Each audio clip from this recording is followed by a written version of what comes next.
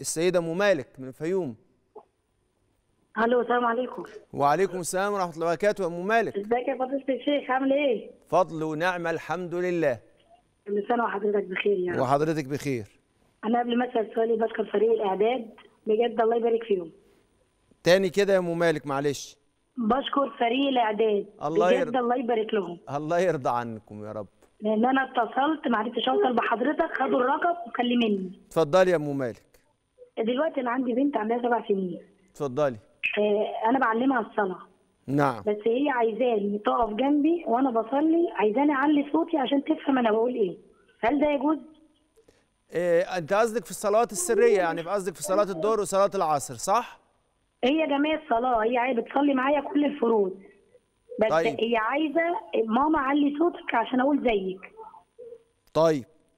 بس فهل ده يجوز أنا يعني بقولش حاضر، حاضر. ببتديها فهي تكمل. حاضر. أنا أقول لحضرتك حاجتين.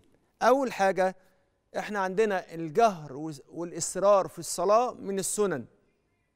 يعني إيه من السنن؟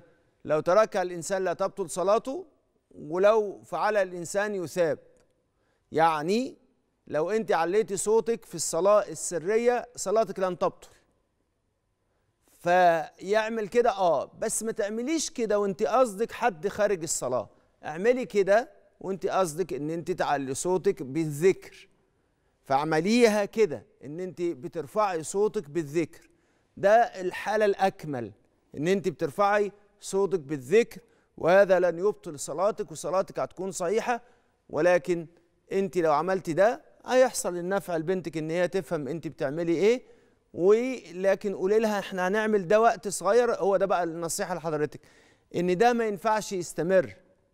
يفضل بس لغاية ما بنتك تتعلم وقولي لها إحنا هنقعد عدد من الأيام هعمل كده وبعدين انت هتعملي كده. ولما هي تتوقف عن ده ارجعي لسنة الإصرار مرة مرة ثانية في الظهر وفي العصر مرة تانية ارجعي وصلي صلاة سرية.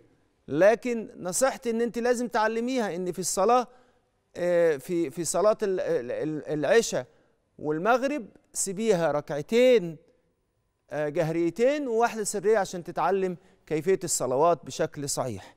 أنا دي نصيحتي لحضرتك ولكن صلاتك إن شاء الله صحيحة ولن ولن تبطل. ما دمت مش بتقصدي بتقصدي رفع الصوت بالذكر في الصلاة مش بتقصدي إن أنت تقولي يا فلانة اعملي كده.